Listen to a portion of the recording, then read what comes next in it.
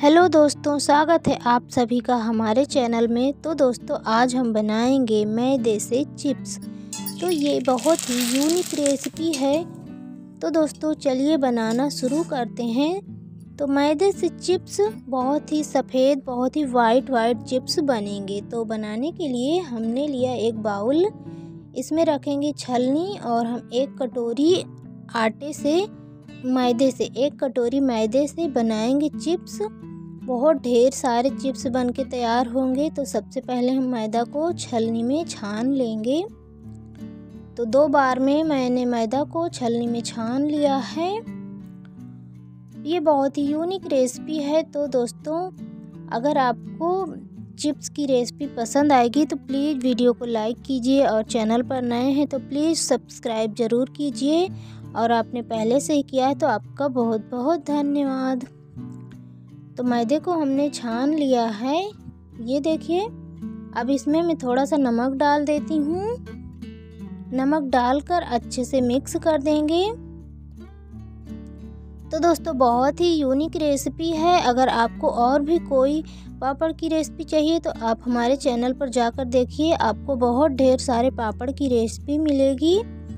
तो जिस कटोरी से हमने मैदा लिया था, उस कटोरी से दो कटोरी पानी डालकर मैदा को अच्छे से घोल तैयार करेंगे।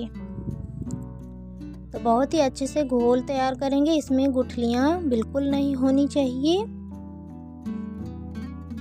ये देखिए, इस तरीके से हमने घोल तैयार किया और जो थोड़े बहुत गुठलियाँ रह भी गई होंगी तो उसे हम छलनी से छान देंगे तो सारे गुठलियाँ निकल जाएँगी। तो यहाँ पे हमने लिया छलनी और सारा घोल हम छलनी में डाल देंगे। तो ये देखिए, जितना भी गुठली था, उतना सारा निकल गया है। इसमें हम उसी कटोरी से एक कटोरी पानी डालेंगे बाउल में। तो यहाँ पे हम तीन कटोरी पानी डाल चुके हैं। ये देखिए, तीसरा कटोरी पानी हमने डाल दिया है और दो कटोरी पानी हमने पहले से ही डाल दिया था।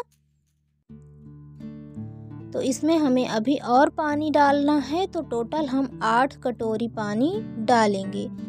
ये रहा चार कटोरी, पाँच, छ, सात और ये आठ। आपको पानी का मेज़रमेंट करना बहुत ही ज़रूरी है तो यहाँ पे हमने आठ कटोरी, गिनती करके आठ कटोरी पानी हमने डाला है। और ये बिल्कुल परफेक्ट चिप्स बन के तैयार होगा इतने पानी में। अभी आपको घोल बहुत ही पतला दिख रहा है, लेकिन ये मैदा है, जब हम इसे पकाएँगे तो ये गाढ़ा हो जाएगा। तो गैस पे हमने चढ़ा दिया है कढ़ाई को, और गैस की फ्लेम को हम अभी बिल्कुल स्लो रखेंगे। कम से कम 10 मिनट तक हम गैस की फ्लेम को स्लो रखेंगे और पकाएँगे। जब तक में उबाल नहीं आएगा तो हम गैस की फ्लेम को स्लो ही रखेंगे, नहीं तो नीचे चिपकने लगेगा और इसमें गुठलियाँ पड़ेंगी। तो हम इसको पकाते जाएँगे। ये देखिए, पकाते हुए हल्का हल्का सा गाढ़ा हो गया, लेकिन अभी इसमें उबाल आने नहीं शुरू हुए हैं। तो अब हम गैस की फ्लेम को थोड़ा सा बढ़ा देंगे। तो यहाँ पे हमने गैस की फ्लेम को बढ़ाया तो उबाल आने शुरू हो गए हैं। ये देखिए, इसी तरीके से हमें इसे कम से कम 20 से 25 मिनट तक पकाना होगा। तो अब यहाँ पे अच्छे से उबाल आने लगी है। अच्छे से उबाल लेंगे इसको ताकि हमारे चिप्स बिल्कुल भी टूटे फटे ना। तो बिल्कुल अच्छे से हम उबाल लेंगे।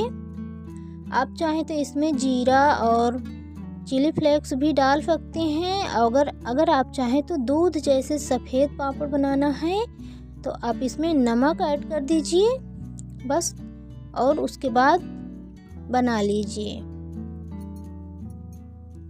तो इसको मैं चेक कर लेती हूँ। गैस की फ्लेम को फ्लो कर दी हूँ। तो यहाँ पे हमने एक प्लेट में डाला। ये बिल्कुल भी फैल नहीं रहा है। ये देखिए, बिल्कुल भी नहीं फैल रहा है। तो इसका मतलब ये बेटर हमारा अच्छे से पक गया है। तो गैस की फ्लेम को हमने बंद कर दिया था और इसको हमने निकाल लिया बाउल में। ये देखिए, इतना गाढ़ा हो गया है। इतना पतला घोल दिख रहा था पहले, लेकिन पकने के बाद कितना गाढ़ा सा हो गया है। तो इसमें हम डाल देंगे एक चम्मच सफ़ेद तिल। इसको अच्छे से मिक्स करेंगे। और इसके बाद ही हम पापड़ बनाने शुरू करेंगे। अभी ये गर्म है, बहुत ही ठंडा नहीं करेंगे। इसको पापड़ बना, चिप्स बनाना शुरू करेंगे। तो यहाँ पर चिप्स को बनाने के लिए मैंने प्लास्टिक की सीट बिछा रखी है, उसमें कोई ऑयल मैंने नहीं लगाया है। तो एक चम्मच हम डालेंगे। करछी से नहीं डालना है, चम्मच से हमें डालना है क्योंकि हमें छोटे छोटे चिप्स बनाने हैं। तो ये देखिए, इसी तरीके से हम सारे चिप्स को बना लेंगे। गोल शेप में बनाते जाएँगे सारे।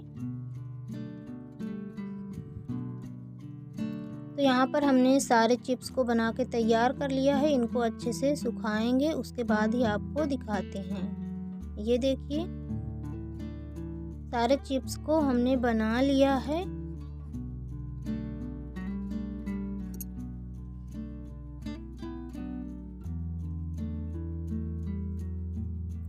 तो इस तरीके से चिप्स हमारे सूख गए हैं तो अब देख रहे हैं बिल्कुल भी टूटे फटे नहीं हैं क्योंकि हमने अच्छे से मैदा को पकाया था।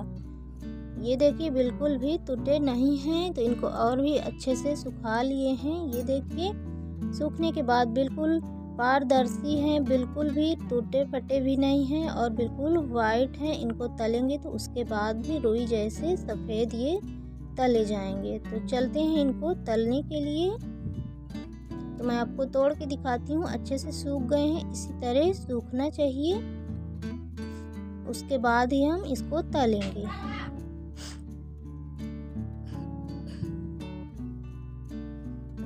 तो यहाँ गैस पे हमने ऑयल गरम कर लिया है। एक चिप्स को हमने डाल दिया। कितने अच्छे से फूल गया है और कितने जल्दी से फूल गया। और ये चिप्स बिल्कुल मुलायम है। खाने में बिल्कुल मुलायम। रुई जैसे सफ़ेद हैं। तो सारे चिप्स को हम इसी तरह तल कर तैयार करेंगे। तो दो चिप्स को मैंने और तल लिया है, इसी तरीके से हम चिप्स को तलेंगे।